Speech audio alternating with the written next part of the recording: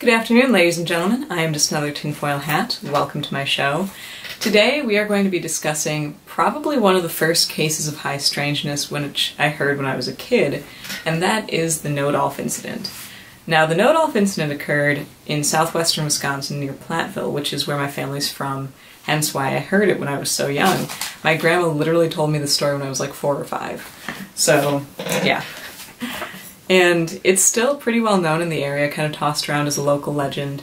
Um, so the story goes that in the 1880s there was a farmer named Carl Nodolf, his wife Louise, and their two kids, Minnie Louise, who was four, and Louis, who was two.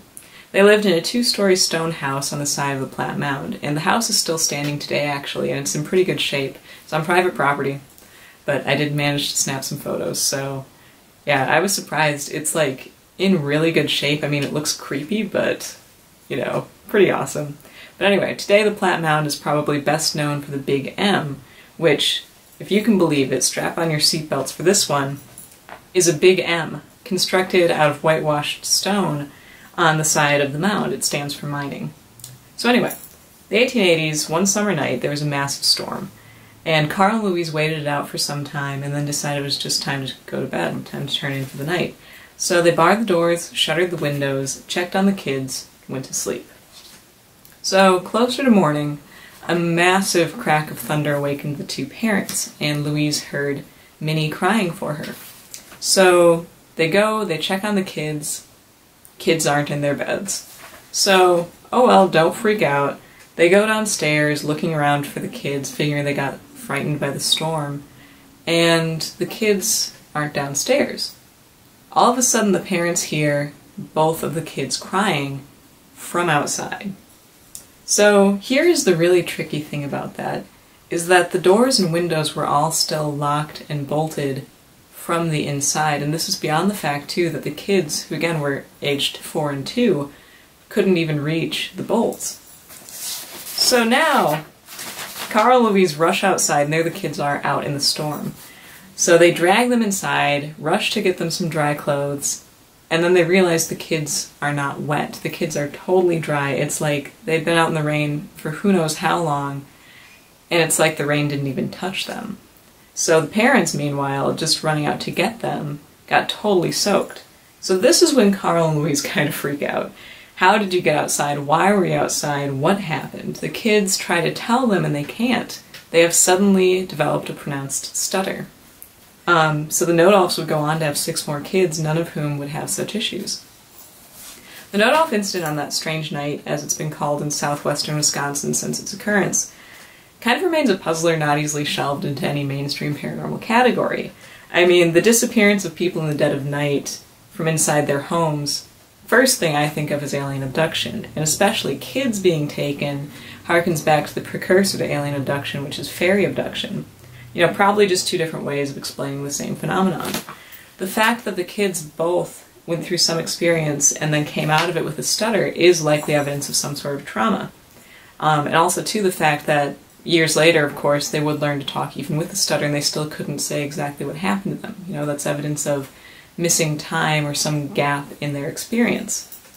However, the trick here is that usually the trauma from an alien abduction experience doesn't surface for many years, sometimes never. Ironically enough, if the Nodolf incident could be attributed to this, we might not even know about it. You know, it just would have been something that they didn't remember. So, if it was an alien abduction, that leaves the question what was it? We're still left with the fact that the kids got out of the house without disturbing any of the exits, were out in the rain for an indeterminate amount of time and didn't get wet, and could never really explain exactly what happened to them or how it happened. So, an interesting and rather vague notion involves distortions in our reality, you know, kind of glitches in space and time. Um, the paranormal and actually just, you know, lore in general is filled with accounts of people appearing and disappearing, um, objects too.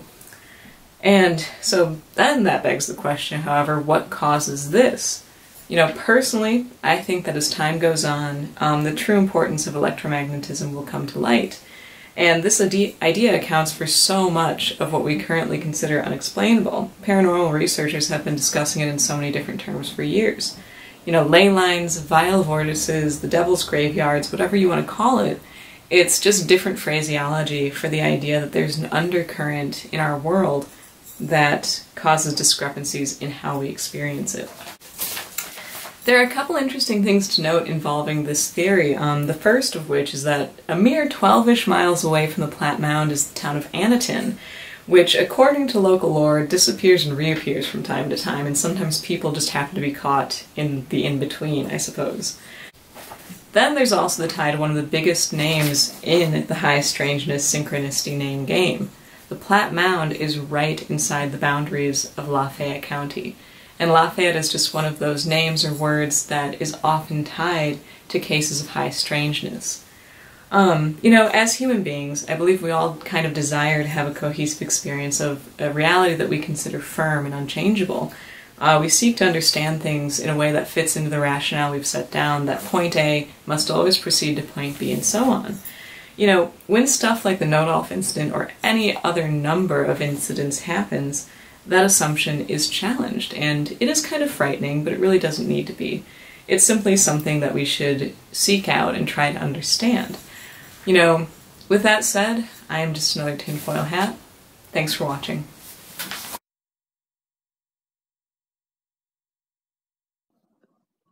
Doing.